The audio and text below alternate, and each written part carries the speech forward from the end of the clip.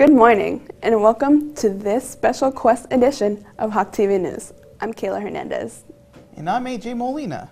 Our top story this morning Project Quest. The Hillsborough County School District sponsors this summer program called Project Quest. As Hawk TV's Olivia Larry shows us, high school students can now achieve a college experience even before they graduate. Physical and vocal warm ups are the first matter of business of the day in this intro to acting class at Hillsborough Community College. But in this class, it's a special group of students taking this training at HCC. I was really uh, elated to get in this program and find out what college life was like. Feel a lot more independent, teachers don't nag you, and it just gives you the real college experience. These are actually high school students taking college courses this summer. Quest is uh, essentially a dual enrollment program for students. They are in class for three weeks on the HCC campus of their choice. Students will earn uh, two class courses um, involving six um, credits as well as one high school credit. Uh, these courses will involve both their high school GPA and their college GPA when they transfer to a Florida State college. It provides an eligible students an opportunity to earn both college and high school credit. The acting program in general for Quest students uh, brings out a lot of skills that we need every day in our life. So whether you're going to be an actor or not, you can learn these skills in this class. Students say this class is very fast paced. In 12 days, they will learn monologue, perform scenes, learn improvs, and techniques. This program is really, really challenging, and uh, everyone is doing really well in it. Uh, so I love to be able to see what we can do in these three weeks. In the afternoon, these Quest students switch to a broadcast news class where they learn TV reporting and production. Originally, what I thought I was getting out of it was just, you know, the just a couple weeks of spending time on this campus and just getting my college credit. But I realized that I found people who are funny and energetic. And I feel like I have more freedom here. Like I get to pick and choose where I go instead of um, in high school where I have to go from this area to this area and then to this class to this class. Any rising high school senior with a learning disability may participate in Project Quest. For students, it's worth it. In Ybor City, Olivia Larry, Hawk TV News. If you're a rising 12th grade student, Project Quest might be for you. For more information, visit the college website at hccfl.edu. In other news, now you know America is known to be one big melting pot. And right here in Ybor City, there is a summer camp that is actually teaching kids the Italian culture. Hawk TV's Jasmine Huggins brings us to Campo Italiano. In a historic building in Ybor City, children sang Italian melodies after lunchtime. Just another day, one of a kind summer camp at Italian Club of Tampa. Campo Italiano, because our focus is on the Italian uh, heritage.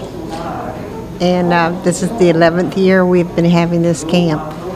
Every year, children between the ages of 6 to 13 participate in different Italian activities. At Campo Italiano, there's Italian cooking, art, storytelling, music, even bocce ball and crochet. Basically 25 activities in a week. For the crocheting, you know, it's nice, peaceful, peaceful and you learn how to uh, make nice stuff.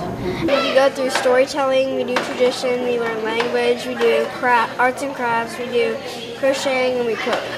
Campo Italiano. The students here learn Italian heritage. No big surprise. Their favorite activity to do is cooking. Meatballs, but they're really good. it's not your average day camp. The goal here is to pass on the great culture, the Italian culture. Go, uh, we decided uh, that we wanted to keep the culture alive and uh, the best way we thought would be for us to uh, indoctrinate our children. The camp leaders say after a week at Campo Italiano, the young campers know how to speak, sing, and dance Italian. Teaching them Italian songs, and uh, it's amazing what they can learn in just a couple of days. Ciao. It means hello and goodbye. Buongiorno means good morning. Amo Giuliana. Campers seem to enjoy learning about the different countries from state certified teachers who happen to be all Italian descendant. Dancing, uh, we practice for our uh, concert Friday, which all the parents come and see us singing and dance. Our music have a big effect on the students. Uh, it helped them in so many ways in discipline, in uh, expression. Education, inspiring, and fun. Campo Italiano is offering one week every summer. But campers say the lessons learned will be some they will remember for years to come. I love it. I love all the culture about it and the, about the language. I, I'm Italian myself, and I come here just to learn about my past and my family. HCC campers, Jasmine Huggins, Hawk TV News. Space is always limited for this camp, so if you are interested, be sure to sign your kids up as soon as you can for next year's Campo Italiano. Well, one unique exhibit at HCC explores something you don't normally see. For the female desire for world peace through silk art. Intrigued? As Hawk TV's Nick Jennings found out, there are many forms of silk art that expresses many interests and new experiences. Silk art takes the spotlight at the Ybor Art Gallery at Hillsborough Community College this month. Silk art is painting on silk, and we use several different methods, which you will see as you take some, as you look around the exhibition. Elizabeth Mitchell is a Tampa silk artist and the curator of the show. This silk art exhibit includes an installation of 2D and 3D art pieces. Images of landscapes and dreamscapes, Mitchell says the collection celebrates the rising awareness of women's world visions on global and environmental concerns. The art you see here was created by seven different artists from across the United States and Europe. They are all hand painted silks and represent women's global and environmental concerns. Mitchell explains to Hawk TV what this unique art means to her. The medium is silk, and the message you can see is the beauty of nature and our longing for a world at peace. The artist also told us silk art can come in different forms. Works can be quilted, embroidered, constructed, or framed. Ybor Gallery visitors seem to appreciate the originality displayed here. And I think it really brings out, you know, a lot of emotion and a lot of creativity that the artists, you know, put into this work of art. There's different type of artwork, artwork people put very hard work into that make it you know, so extravagant. Uh, Although this silk exhibit will only be here for one month, there are other places you can see this type of art. My work is in two galleries. One is at uh, Bayston Gallery next to Mise en Place in downtown Tampa, and the other is at Clay Paper Gallery in Dunedin. The amazing form of art that is sure to inspire and make you think. Well, this is like a new experience for me, so I see some nice paintings, paintings I've never seen before. Uh, for me, it is amazing because I love the, uh, the sea, I love the ocean, I love the animals over there. I love everything here. From the Ybor Art Gallery in Ybor City, Nick Jennings, Hawk TV News. For more information on silk art at HCC, check out hccfl.edu. Search silk art. From art to food, now we all know Ybor City has many restaurants that can satisfy any hunger and taste. I had the chance to go around Ybor to experience some of the most delicious dishes that neighborhood has to offer. Ybor City, a neighborhood full of history, culture, art, and entertainment. There are many reasons why people go to Ybor City, but food is always a main attraction. A lot of good restaurants like Columbia Restaurant, Panini, Ybor, Acropolis, Greek Taverna, and Sherbet Co. From Italian to Cuban, Japanese to good old-fashioned American burgers, locals and tourists have a variety of choices when it comes to places to grab a bite to eat. Uh, it's wonderful. Carmine's, Tropicana, Columbia. Those are the stalwarts that have been here most of my life. But there's some great new restaurants now, too. There are dozens of restaurants to choose from here in Ybor City. Hawk TV wanted us to find out some places for students to eat, so we hit the streets. That's right. Ybor City may be a small Tampa neighborhood, but it packs big flavors. There are dozens of restaurants here offering unique and classic dishes on their menu. There are many great restaurants in Ybor. There's my favorite is New York New York Pizza because there's lots of good food there and the atmosphere is really good. Oh, I find Ybor City very tasty. There are wonderful restaurants all up and down 7th and the side streets as well. I was here Monday at Hamburger Mary's and I had a burger, which I can highly recommend, and I liked it so much. It's Wednesday and I'm back two days later. We stopped by Bernini on 7th Avenue to sample some of their classic dining. Bernini's is known uh, throughout the community, um, uh, not only word of mouth, um, but also if you take a look at our online reviews on Yelp and TripAdvisor, we get awards every year for uh, the food, the atmosphere, and the hospitality of the, of the restaurant. Ybor City's restaurants have established ties within the community, which seem to bring a more neighborly dining experience to customers. We have a lovely community here, and we have a lot of people who come on a regular basis, and it's always fun to welcome our regular customers back in. It's also uh, wonderful to see people who have never been here come here and really enjoy the restaurant. So whether it's Greek, Mexican, Irish dessert, or coffee you're craving, chances are Ybor City has what you're looking for. For me personally, uh, um, I really, I really enjoy hospitality and and having the same people come back and bring their families and book special events and come because they really just love being here. They feel warm and welcome, and uh, and they can't wait to come back. That that just means so much to me. A great community, a great place to eat. Locals and visitors seem to agree. There is no place like Ybor City, especially when you are hungry.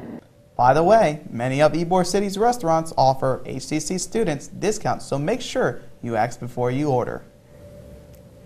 Speaking of food, one well-known Bay Area bakery is celebrating a very important anniversary this year. Hawk TV's Christian Cruz Castro has the details. The smell of bread fills the air in this kitchen in Ybor City. Bakers cut palmetto leaves in preparation for a tradition that has been happening here for four generations. They use the uh, infamous palmetto leaf down the center of the bread. It's one of their signature uh, items to give it its unique feature for Cuban bread. Welcome to La Segunda Central Bakery. I've been doing the Cuban sandwiches for years since I was a yay high. It's a big year for this small Tampa bakery. I'm always like super cheery because I'm wondering what the customer is going to tell me, like how long they've been coming here, what they always come and get. Um, sometimes they come with like their grandkids or the kids. This year, La Segunda Central Bakery celebrates its 100 year anniversary. 100 years of delivering fresh baked goods and delicious food to the community. I know they've been making the uh, Cuban bread for years. They have a, that's their signature item from my understanding. 100 years of bringing the Cuban culture to Tampa Bay. For me, everything is good, but my favorite is the bread, and I come from far to get it because I live in Brandon. Yeah, a lot of the process we use are similar to what we used 100 years ago. La Segunda Bakery has been around for over 100 years now. That means a lot of people have been coming here since they were young, all just to get a taste of this delicious Cuban bread. Over the decades, this neighborhood favorite has seen a lot of celebrations, weddings, birthdays, and reunions. Even the regulars who stop in for one of the bakery's famous Cuban sandwiches, a dessert or pastry, say there's a sense of home here. The environment's great, the ownership's great, um, real family uh, oriented, and uh, they definitely look out for their employees. After 100 years, it doesn't look like this business is slowing down at La Segunda Central Bakery. Customers say it's a Tampa Bay gem that just keeps you coming back for more. I love their sandwiches, uh, their deli. In Ybor City, Christian Cruz Castro, HCC Hawk TV News. To find out more about the business and history of the La Segunda Central Bakery, check out their website at lasegundabakery.com. Well, we are really starting to get off into the dog days of summer. It is hot out there. Yep, it sure is. The question now is, is there any relief in sight? Time now to check the weather. Let's get some answers from our Hawk TV weather girl, Matrina Maluda. Matrina? Thanks, guys. You are right. It is sweltering in Tampa Bay. But it's only June, so you can expect at least a few more months of this hot weather. For now, let's take a look at the rest of the week. On Wednesday, it's going to be mildly sunny with a high of 91 and a low of 79. On Thursday, it's going to be mostly sunny with a high of 91 and a low of 75.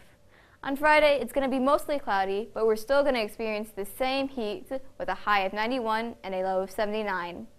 On Saturday, it's going to be sunny again with a high of 90 and a low of 78.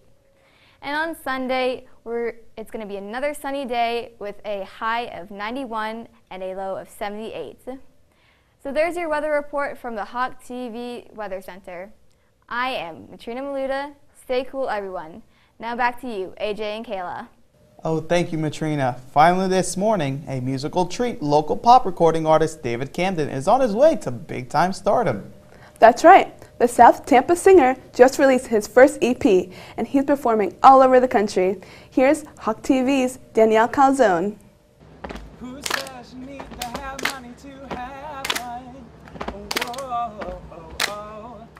Local recording artist David Camden sure knows how to draw a crowd.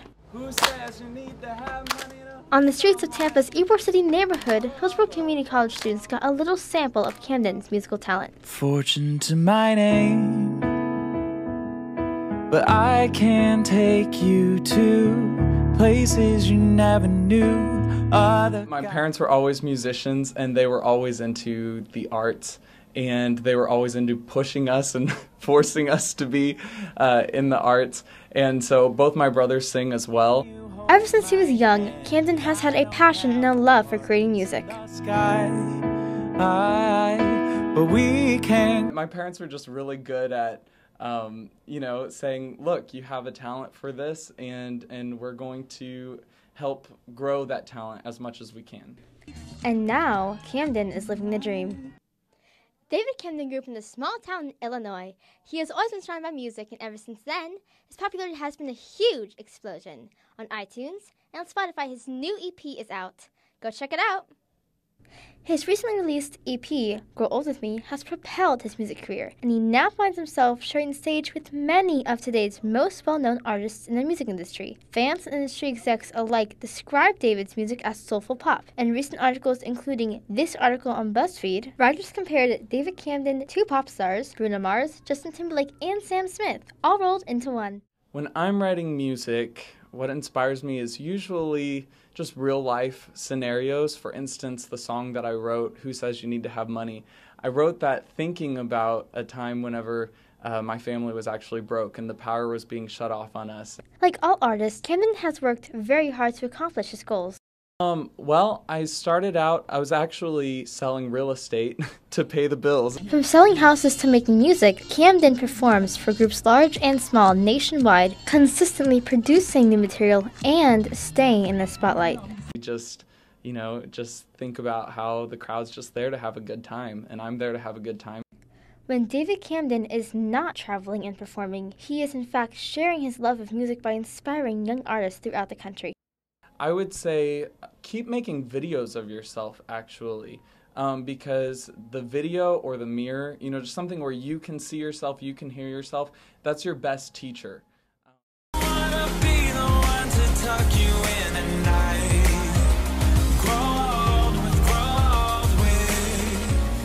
So, look for this name, David Camden, and don't forget to download his music on iTunes and Spotify.